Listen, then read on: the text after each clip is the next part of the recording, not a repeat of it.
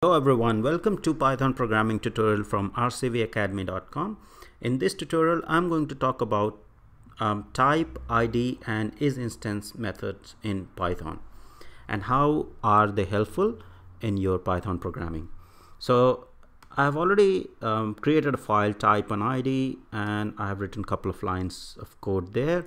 So what I'm doing is I have uh, defined a list and allocated it to a variable A. Then I'm printing the list so it will print the list here in the line number four and then it will print type uh, of this variable a. Let's try and execute this and see what the result is. So you can see the list has been printed and the class list has been returned. So it's a list it's a type list. So as you know in python everything is an object. So a type is um, same as a class. So uh, now if we want to find the type of particular uh, element within the list you can also do that. So for example you want to see what is the type of the third element of the list.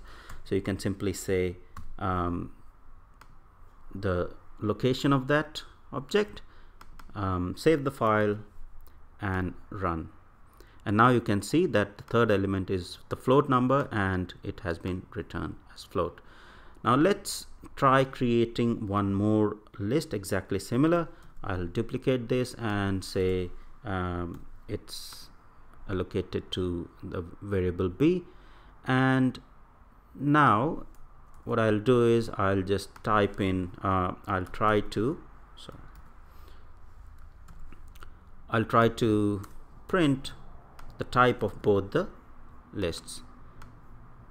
So you can see that both are the lists. You can also verify the elements within the list. So you can say uh, what is the type of um, second element in list A and what is the type of second element in list B. And it will return uh, that both are float because both are the identical lists.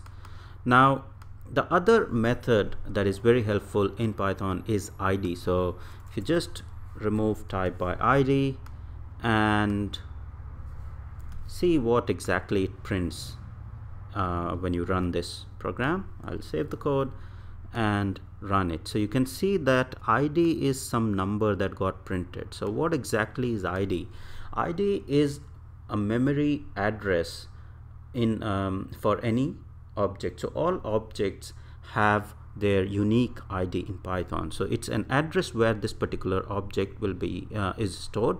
And because um, these uh, the number the uh, the, uh, the number 3 or the element 3 in this list is float and it's exactly same. So what python does is it doesn't instantiate or it doesn't store it, it as two separate objects. It basically says both are identical and stores at the same location. So that's why you can see that id for both the elements is same so to verify that these um, two objects are same you can uh, what you can do is you can say just if a is same as b then print same object else print different. All right and now you can see if you run it um, what it will print. So it will print same object because this uh, 3 is float in list A and uh, 3 is uh, float in list B as well and they are the same objects. Now if you change it to say 1 and try to uh, execute it and now you will see oh sorry. I made it.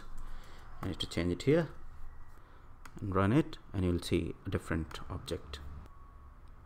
Now the other important method is isInstance so to explain isInstance what I'll do is uh, what I want to do here is uh, I'm trying to uh, check whether this list type of list is um, type of this instance or variable a is list then print list and otherwise do not print list. Um, so if I try to execute this and it will say it's not not a list which is not the case let me comment these lines here and I'll comment this line as well. So what I want to do is if the type of this variable a is list which is actually the case. So it should print uh, this as list. But why it is not printing as list? So uh, the, so the reason is you need to use a different uh, method altogether which is is instance. So how you can uh, do is you can say if is instance of a and then comma is list. And then it will print list. Otherwise it will so you can see it printed list. So is instance is the method that you need to use to verify whether uh, the particular object that you want to check is a list or tuple or dictionary etc so this is um, about type id and in, is instance in python. Thank you